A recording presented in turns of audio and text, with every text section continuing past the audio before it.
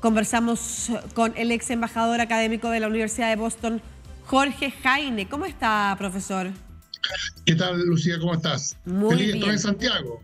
Así que me da mucho gusto conversar contigo en Santiago. Estás actualmente en. Santiago. Muchas gracias también, entonces, por en estos días tomarte un tiempo para conversar, evitando la tormenta de nieve. Capaz que tengamos espacio para conversar de eso al cierre Exacto. de este contacto. ¿Cuáles han sido las reacciones en Estados Unidos respecto de lo emitido por el informe?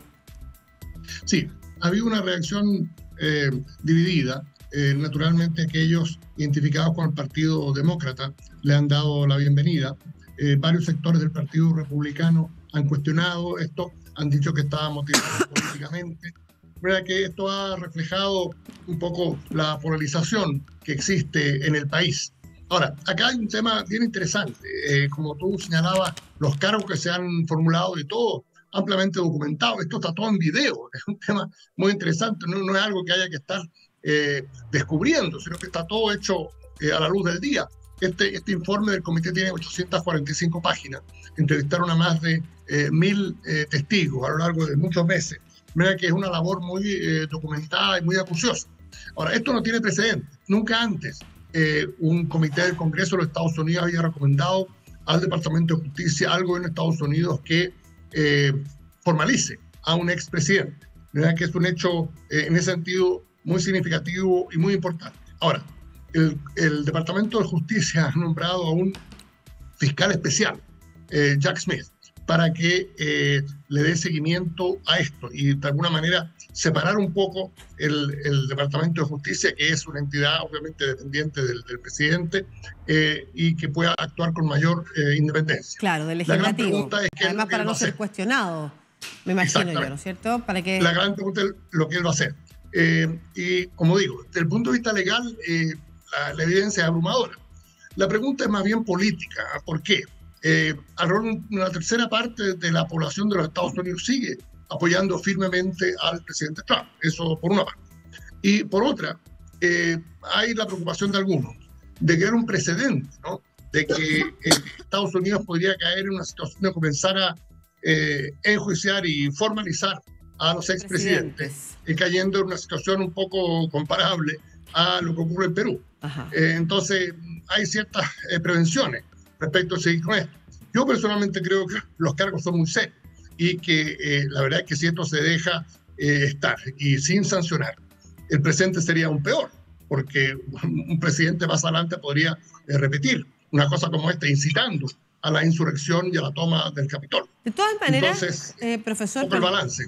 De todas maneras, nosotros sabemos que hay eh, sectores del Partido Republicano, de partidarios republicanos clásicos, antiguos, recordemos al, al ex eh, senador McCain, ¿no es cierto?, que desde un inicio se mostró contrario a apoyar a Donald Trump y se transformó dentro del Partido Republicano en su principal enemigo, mostrando que hay un sector, sobre todo eh, el más republicano del Partido Republicano, el más conservador, el más tradicional, además el más respetuoso, también lo hemos visto, de, de la institucionalidad norteamericana en estos últimos años, que no estaba de acuerdo con al inicio Donald Trump y hoy se han sumado nuevas voces que también intentan levantar nuevas figuras e impedir que Donald Trump avance un segundo mandato en la Casa Blanca. Desde ese punto de vista, ¿hay sectores del Partido Republicano que pudieran acordar con el demócrata algún tipo de sanción que de todas maneras no signifique lo que usted señala, para adelante la búsqueda permanente de eh, ir cuestionando o llevando a la justicia a expresidentes? Sí, desde luego, no. Está claro que hay sectores decididos. Por ejemplo, el senador Mitt Romney, que fue ese candidato a la presidencia en el año 2012, él eh, también ha manifestado su crítica a las posiciones del presidente Trump. Y hay varios como él. Ahora, siguen siendo, yo diría, una minoría dentro del Partido Republicano. El problema de varios dirigentes republicanos que en privado están de acuerdo que lo que ha hecho el presidente Trump es eh, impresentable, eh, le tienen eh, temor a la base republicana. En la base republicana, eh, sobre todo en el sur de los Estados Unidos y en el Medio Oeste, eh, el expresidente Trump sigue teniendo mucha llegada, tiene mucho apoyo. Entonces, estos dirigentes tienen, le tienen temor eh, a eso. Que yo diría que están un poco a la expectativa, eh, a ver qué es, lo que va, qué es lo que va a pasar. Y yo diría que la posibilidad de que el Congreso eh, apruebe eh, medidas de que sancionen o eviten que el presidente Trump eh, vaya a la reelección son eh, muy reducidas. ¿Por qué? Porque la Cámara va a quedar en manos de los republicanos eh, y el, lo que todo indica, todo indica será el próximo speaker de la Cámara, Kevin McCarthy, es un fuerte apoyador del presidente Trump. De mm. manera que el camino hacia adelante no está claro.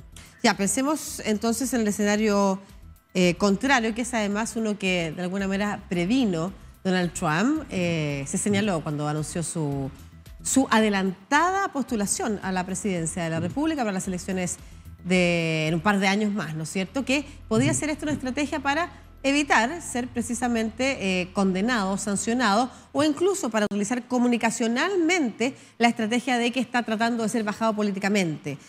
Desde ese punto de vista, ¿a qué se arriesga Estados Unidos y la institución norteamericana de dejarlo seguir en carrera? Bueno, yo creo que acá es que el Departamento de Justicia y en particular el señor eh, Smith tiene que tomar una decisión. Eh, la verdad es que el decir aquí no ha pasado nada y vamos a barrerlo bajo la alfombra me parece que sería impresentable. Eh, la pregunta es cuán lejos quiere llegar. Ahora, hay otro tema, hay otro aspecto que algunos consideran que tiene un fundamento legal aún mayor para formalizar al expresidente Trump. Y esto es el asunto de los documentos. Eh, muchos, muchos de ellos documentos secretos, altamente confidenciales, que se llevó de la Casa Blanca a Maralago. Ahí tenemos algo que también es obviamente un delito flagrante y que eh, su seguimiento está aún en curso. Ahora, están también otros, otros casos en materia tributaria, un, caso en Georgia respecto también al tema electoral, de manera que eh, él tiene muchos problemas en este momento, el señor Trump. Claro que sí, y también ha, perdido apoyo. Usted señalaba, tiene un fuerte apoyo todavía en algunas zonas, sobre todo del sur del país. Sin embargo, se transformó en uno de los pocos presidentes que no logró ser reelecto y al mismo tiempo su partido, el republicano, uno de los pocos partidos en la historia de Estados Unidos que no gana una elección de medio tiempo, de medio mandato. Eso significa que también puede haber algo más mediático que eh, la base masiva que pueda tener Donald Trump, que sabemos que es muy fuerte la base de apoyo, pero en términos de masividad puede ser que la misma falta de las institucionalidades haya eh, significado la pérdida de apoyo. Sí, no, sin duda. Eh, hay encuestas, por ejemplo, que se han hecho recientemente y que le han dado un mayor apoyo a nivel nacional al gobernador de Florida, Ron DeSantis, por encima de Trump. De manera que está claro que ese apoyo eh, popular que yo mencionaba anteriormente se ha ido erosionando. Trump está perdiendo apoyo, incluso en aquellos sectores tradicionales que más lo apoyaban. Pero es una situación eh, muy fluida y los dirigentes republicanos eh, le tienen miedo a esa base que sigue existiendo. Claro, sobre todo porque para las primarias se requiere de esa base, ¿no es cierto? Esa es la que está autorizada para votar. Claro, ¿qué se puede esperar de Donald Trump? ¿Cuáles son las reacciones también que ha tenido él durante estos días? Bueno, él básicamente ha eh, denunciado esto como una operación política. Él cree que esto es una casa de brujas, eh, que él no ha hecho nada malo y él se mantiene ahí firme en, su candidatura y buscando distintos mecanismos para levantar fondos. Él aprovecha todo esto para recaudar aún más fondos, tanto para su campaña como para su bolsillo. ¿Y cómo se explica, perdón, eh, Jorge, que lo que usted señalaba, que él diga que esta es una persecución política, que es una casa de brujas, teniendo la información en los videos. ¿Cómo no hay acuerdo respecto de lo que efectivamente hizo Donald Trump para, la, para el año, para enero del 2021, ¿no es cierto?, para la asunción de mando de parte de Joe Biden y cómo se trató de impedir aquello y por supuesto el asalto al Capitolio. Quizás nosotros lo vemos como algo pasado, lo vemos como algo anecdótico, pero para Estados Unidos y para cualquier país que se intente asaltar el lugar donde está el Congreso y que además esto sea guiado efectivamente además por el mismo presidente que deja su cargo, es muy grave. No, es, increíble. Yo que he vivido muchos años en Estados Unidos, he vivido en Washington, eh, esto me choca particularmente. Pero yo creo que tiene que ver eh, con dos cosas.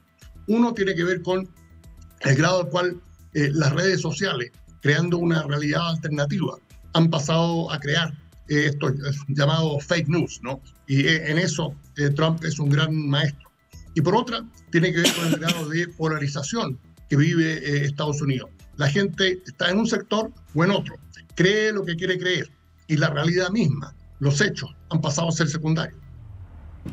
Claro, efectivamente, y ahí es cuando esa realidad que tergiversada termina siendo que algunas personas sientan que tienen que ir a salvar el país y entre ellos están aquellos discursos de quienes ingresaron al Capitolio el 6 de enero del año 2021. Muchas gracias, Jorge Jaime, profesor de la Universidad de Boston, contándonos sobre el informe que se ha presentado en Estados Unidos que recomienda imputar a Donald Trump por una serie de cargos relacionados con el asalto, ¿no es cierto?, a la sede del Congreso para la, para la asunción del mando de Joe Biden. Muchas gracias, que se encuentre muy bien.